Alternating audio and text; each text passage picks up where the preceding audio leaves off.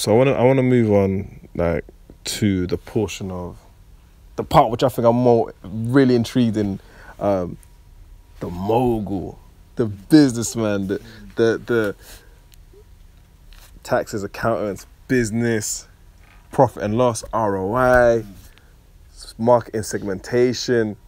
Like how I see you now, this is this is like, you know, when we was talking about outside about some of my plans and my dreams and this and that. I love seeing what you've done because I see manifestation. Mm. We have to see this. The same thing when you like when you're seeing so solid and you're inside thinking, yo, I want that. Mm. You're using social media. I've seen now as an effective way because you're letting people see like, hey, you know, you, you know what that's about, mm. but did you know what this is about? All right, so one fir- first thing I'll say, yeah, if within even using my platforms, yeah, um, I feel like there's a thin line between showing off and inspiration, and a lot of it is cross for showing off. Do you get what I'm trying to say? So, like, you know, years ago, when when I was growing up, because I'm an old man, obviously, yeah, um, people used to say like, conduct yourself properly because you don't know who's watching. Yeah. And now the whole world's watching you on social media, but they're not conducting themselves properly. You're giving off the wrong energy. Do you get what I'm trying to say? Where people don't want to do business with you. Like, so going back into quick, from, before I go into the bass buzz thing, I did the films. Remember when I finished um, the music, I stopped doing music and I done Rolling with the Nines. Samurai, bringing the biggest and the bashiest music in the UK. Talking about three guys calling themselves Time Serve straight out of South London. Record labels are trying to kick down the doors. These boys is going time served. Time served. And again, that was the first gangster film ever to be in Leicester Square Cinema. The only one you had before that, and that was Bullet Boy about killing a dog with Asher D.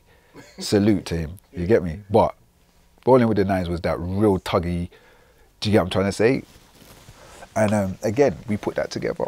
We put that together. I put out the soundtrack to that with Kano, Miss Dynamite, Sway, every big artist you could think of in the UK, PDC, everybody I gave a shot on that on that on that soundtrack on my own record label.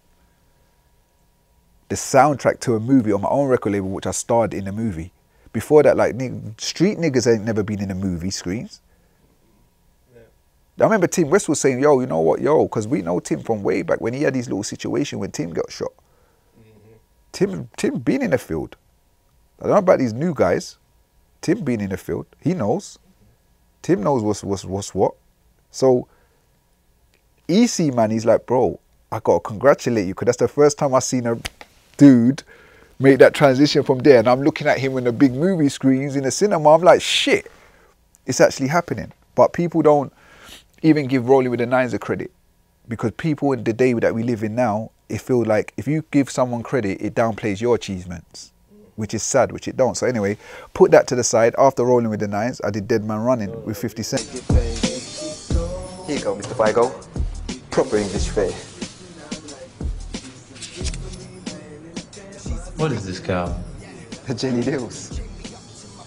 Are you actually trying to tell me you would consume the contents of this cup? You said you want something traditional in there, right up on the top ten list, like double decker boss, crown jewels, jelly eels. Look, no disrespect to your royal family, public transportation, or national cuisine, but if you don't get this shit the fuck out of my face, me and you, we gonna fall out, nigga, alright? Yes, Mr. Thigo. Before you go into that, that's a key point, bro. Because that I remember rolling with the nines, but that is a shift of everything that came thereafter. Because it, it, it's almost like we can acknowledge everything else, but it seems like I'm not saying that people are trying to like rub your achievements out of the way, but hearing you say that and just like thinking, oh, To be honest with you, bro, yeah, they do. They do that a lot when it comes to me because, um, you know, they don't want oh, C was the first person to do this or C was the person. And I'm not somebody that is out there screaming at people are like, yeah, but you don't say it enough and you don't say this and you don't never tell your story. And you know what, yeah, I know myself. I'm not interested in trying to convince somebody what I am or what I did. I'm just going to keep cracking on to do what I got to do. I know what I achieve and I know what I've done to set set levels coming from the pavement because so people are so interested in me to talk this and say all these type of things. Why do you know so much about me if I'm not if I'm not relevant? Do you get what I'm trying to say? Why have you know my story? Like I don't know you. But at the same time, back to the point is rolling with the nine, yeah, was a should have been a standstill time. Because what we went through to get it in that premiere on Leicester Square was headache. They shut down our after party again. The police didn't want me on set again. These type of things they tried to ban man from my own premiere. These things they was always trying to do. So artists now when you got like all the intent and you got all these type of stuff, I was doing that way back 2005 when street niggas wasn't even on the screens, when even rap guys from the from our urban scene wasn't in movies yet. We put Dizzee Rascal in there, Kano's in there, loads of different people was in there. Nobody mentions like when you say, oh, like what's the one of the first British gangster films? Nobody says Rolling with the Nines. Why? Rolling with the Nines is the grittiest shit that ever came out. You saw man spray machine guns, Mac 10s, shit that was really going on. Like what what what you talking about Bullet Boy? Not no disrespect to Bullet Boy or what kidulthood. You're gonna talk about kidulthood and adulthood. You're gonna talk about rolling with the nines. Come on, man. Like, are you serious? And the crazy thing is, it the music reflects almost something that you put out Yeah. nearly nearly 15 years or 13 Yeah. years ago. Yeah. Because you're hearing that in the music, like man, them are saying they're doing this and they're doing that. Yeah. that. Well, when I see when you Even see, the music videos are sometimes simulating some it's of that. simulating and and and, and the, the, the people in these movies and the people now the rap stars rappers Skepta Kano these type of people are all doing I did that and I was from the pavement and I was in the cinema do you get what I'm trying to say like not in no big-headed way I'm more saying it on like if I can do it, anyone can do it do you get what I'm trying to say like we can there's no there's just because you come from somewhere don't mean you have to stay there basically so Rolling with the Nine was a whole new thing, and then we did Dead Man Running, um, which we had uh, Ashley Cole, Rio Ferdinand, all the footballers to put some money in, and I got 50 Cent in the film. That was 50 Cent's one of his first movies. Um, at the time, um, again, police and that was getting involved, and uh, yeah, I did a film with 50 Cent, Danny Dyer, Tamer Hassan, Asha, Ashley. We did all that. Again, that went out there, cinema.